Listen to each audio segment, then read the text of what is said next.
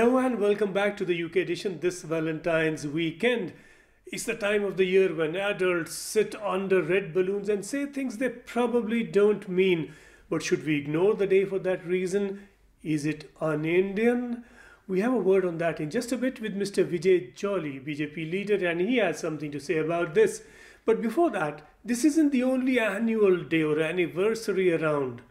Someone came to Britain a year ago not sure who's celebrating, certainly not the Indian government.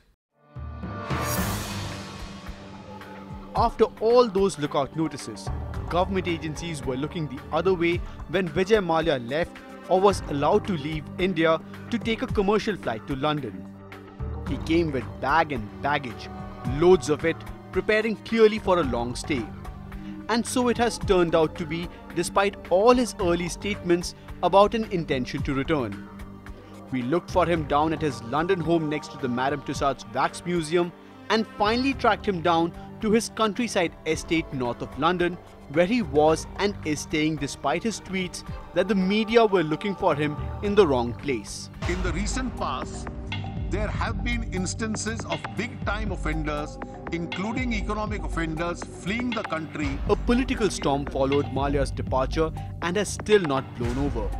Network 18 dug out several reports of steps taken by the earlier government headed by the Congress to protect him, though it was in BJP government days that he finally fled. Finance Minister Arun Jaitley announced an intention to get after him, but that intention has got nowhere an Indian government appeal to the UK government to have Mallya deported was turned down embarrassingly because it was not valid within law. Through his stay, he spoke to the Financial Times looking to present his case and has surfaced here and there from time to time, but enough to show he is living the grand style he is accustomed to. He was seen at the Ascot races of My Fair Lady fame. He turned up at the F1 races to back his team. And he has been living it up at his country home and around Britain, though he is barred from leaving the United Kingdom. The Mallya story is far from over and nobody knows where it'll end. But going by the signs so far, he is not likely to end up in a prison in India where the Indian authorities now want him. Looking at some more dates in the calendar, it was December 2012, remember when that terrible rape and killing took place in Delhi. It shook everyone up. But since then, has anything got safer and better for women in India? A quick word on that with Vrinda Grover, a tireless campaigner for human rights in India. She was in London to deliver the Noor Inayat Khan Memorial Lecture. The first annual lecture was held in London to honour Noor Inayat Khan, who spied for the British behind enemy lines in Germany in World War II and who was later caught and killed. The lecture was delivered by human rights activist Vrinda Grover at the School of Oriental and African Studies in London to honour the spirit of liberty that Noor lived by and died for. I think women have seized the opportunity to make sure that they are not pushed back again. And they are therefore speaking out against the sexual violence. They're demanding that sexual violence be made accountable. They are not only moving courts of law, but they're also asserting their rights. And they're saying we're going to live as free citizens, as equal citizens. Don't tell us that for your safety you need to go back. And I see this actually happening particularly amongst young women across classes. It's not something that's peculiar to urban India or to the educated class. Insofar as uh, the issue of sexual violence, as we know, uh, it occurs everywhere at all times. But uh, I think the notions of shame and the silencing that accompanied it, even within conservative communities, we see that breaking down. At least the beginnings of it are there. The lecture was seen as an expression of the spirit and principles of Noor Inayat Khan. I think it was Noor's last words, which were liberté, and they have always been an inspiration for me because whatever it is, you've got to have hope. And even when she was being killed, she shouted out for freedom and liberty. And so we've called the series the Liberty Series.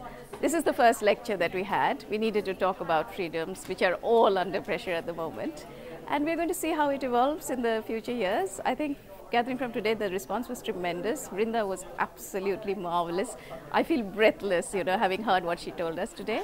So I think this is going to go on. It'll be in the spirit of Noor, various speakers talking about various things. With Sanjay Suri in London, this is Vaibhav Verma for News 18. And now for those controversial red roses after a very short break. Every day which generates uh, compassion, every day which uh, consolidates the society, every day which uh, gives a feeling of bonhomie to a mother, to a father, to a wife, to a beloved, to a sister, to a bhabhi, and also to my neighbor, whether he is a male or a female. I'm bound to celebrate that every day.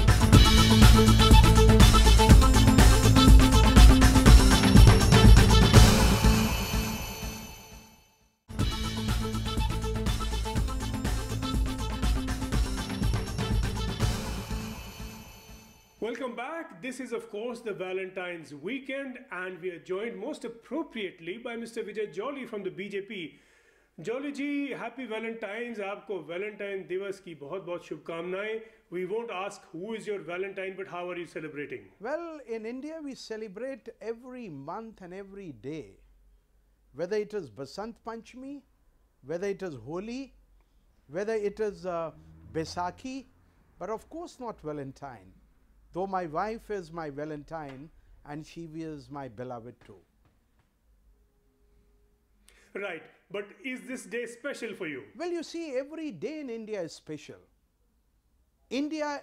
Well, we can't say every day is Diwali. Of course, every day is special, but every day is not Diwali. Every day is not New Year's Day. There's something about this day, and there are there's something about particular days in the year people pick on to celebrate. Of course, what is it about this day? Are you doing something in red? Well, let's say we consider Valentine to be alien to the Indian traditions. Valentine does not coincide with the Indian traditional and seasonal celebrations. Of course, uh, the younger generation is madly and blindly following it since we consider it to be a highly commercialized uh, occasion. Business to the tune. Why do you say madly and blindly? Why do you say madly and blindly? Maybe just happily. Well, I say madly and blindly because uh, in India, every season denotes a certain degree of uh, affection, love, regard for one's parents, for one's society, for one's colleagues, and of course for one's uh, beloved at heart. For us, Valentine does not mean much. For us, of course, Basant Panchami, the advent of uh, the new season, the colorful season of uh, flowers, the end of the severe winters, the Holi which again denotes uh, the exchange of colors. These are not individualistic uh, well, uh, festivals. These festivals denote Valentine's the consolidation of the Indian society and a cultural heritage. Of course, uh, Valentine would be followed uh, by one segment of the society in India or blindly followed all over the western nations. I am not supposed to follow the things blindly. I have to apply my own head and heart to every occasion which I wish to celebrate. Well, talking timing, Valentine's is not that far from Basant Panchami and it's a way of saying it with flowers. So, isn't that a way of blending a Western tradition with an Indian tradition? You see, I would um, here wish to state and tell your viewers at large. 7th February is uh, celebrated as a Rose Day. 8th February is celebrated as a Proposal Day. 9th February is celebrated as a Chocolate Day. 10th February is celebrated as a Teddy Day. 11th February is uh, celebrated as a Kiss Day. 12th February, of we course, is celebrated on, as a Valentine Day. These all celebrations and, and have a commercial bearing. A commercial bearing which means to the tunes of billions of dollars, uh, they, they uh, promote business interest. They uh, promote uh, uh, those concepts which are alien to me as a true Indian, to the traditional Indian Well, uh, you know, there are, as you were saying, Vijayji, there are days and days, and every day can be a chocolate day for many people. But you know, uh, we're talking of Valentine's. It is a Western tradition. Do we speak of these things as alien anymore? Isn't there a more of a free flow around the world of influences and openness to other ways and other things that are just fun? it might be fun for some. It might be exciting for some uh, friends and colleagues of mine. We don't have any objection to that.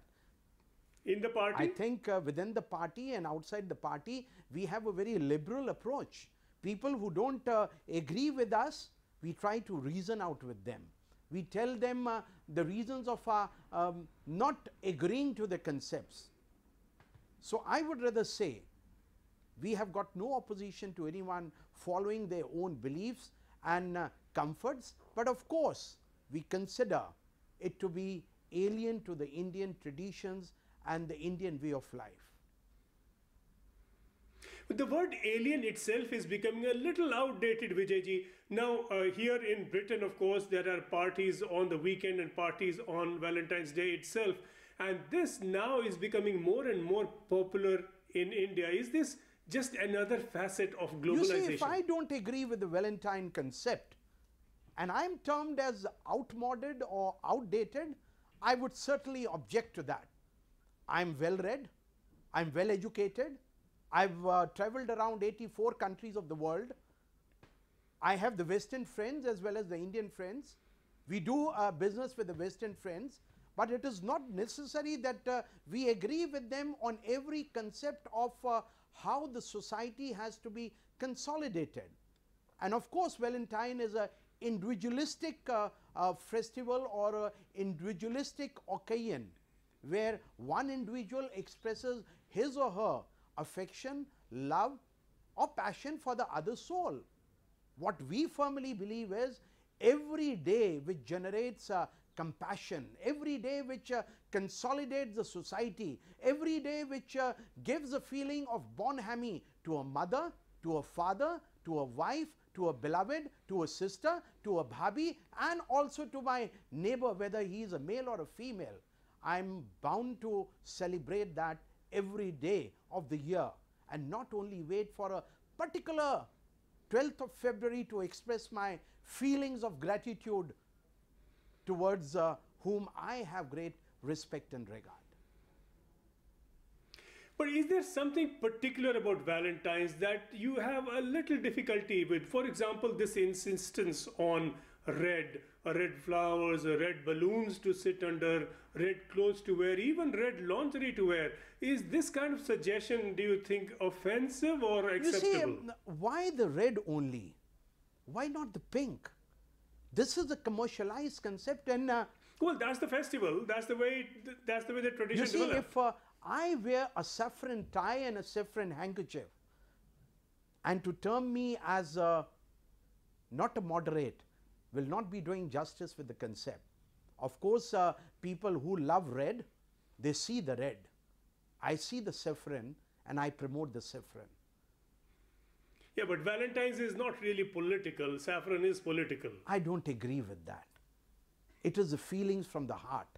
Well, well, uh, colors apart, you were speaking about commercialization, but isn't Diwali now commercialized? Isn't Christmas commercialized?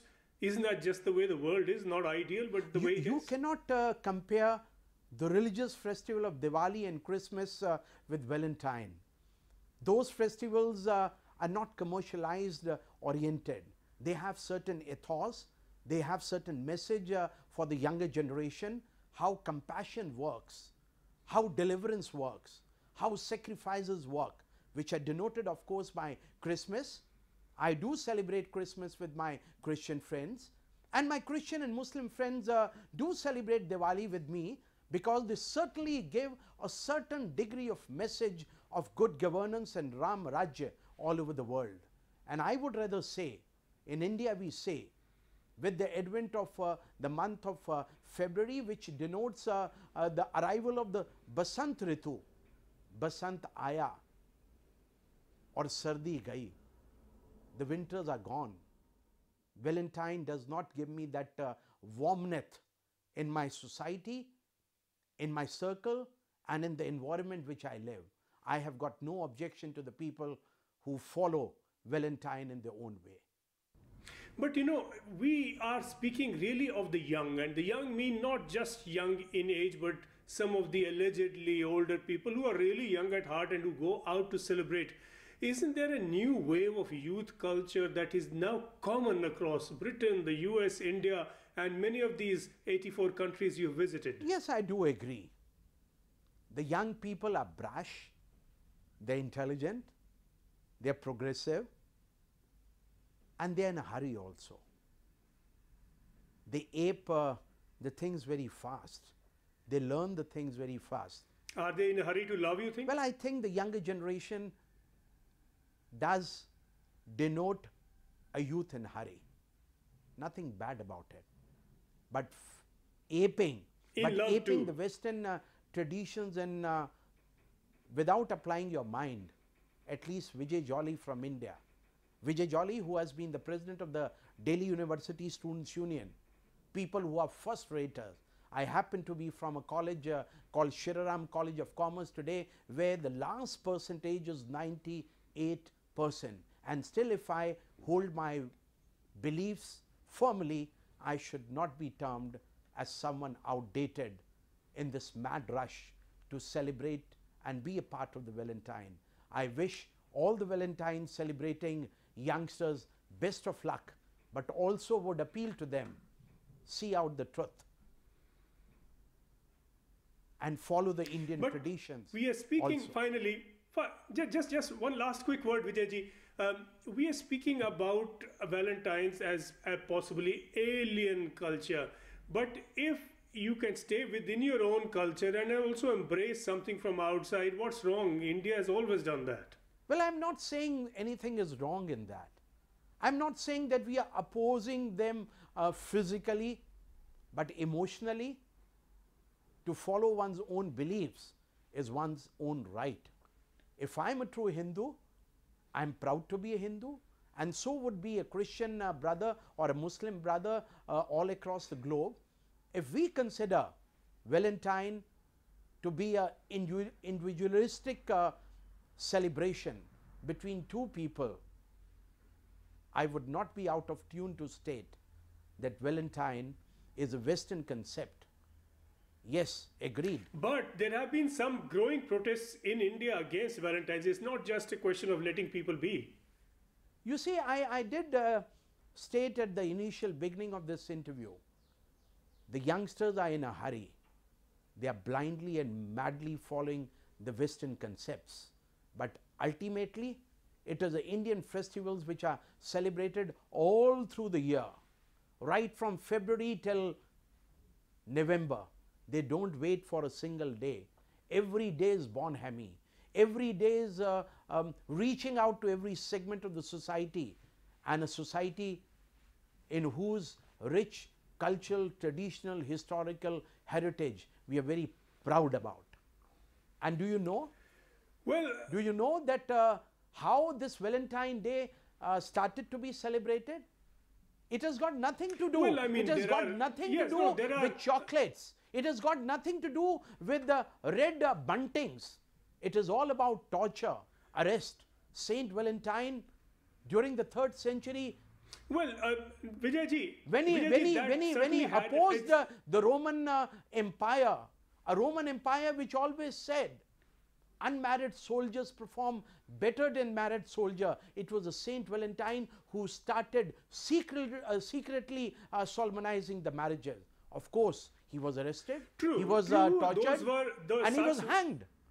But it was only in the 5th century that the Roman Church decided to confer martyrdom on Saint Valentine, and this uh, day started off. So please understand. True. If the Vijayji, roots, Vijayji, you have to understand the this roots. festival had certain origins. Yes, we we accept that this had certain origins going way back. Today, it has developed into a different form. We were speaking about the festival as it is currently marked and observed. But thank you very much, Vijayji, for talking to us. You did say that uh, people are following this tradition blindly and madly, but let's also not forget that it's the dumb thing to believe that love is blind and to be madly in love, but not everything uh, is a matter we all agree on. Thank you very much again, Vijayji, for talking to us. Thank you. Mr. Jolly is right. You can't love for just one day. It has to be every day, just as we are here with you on News 18.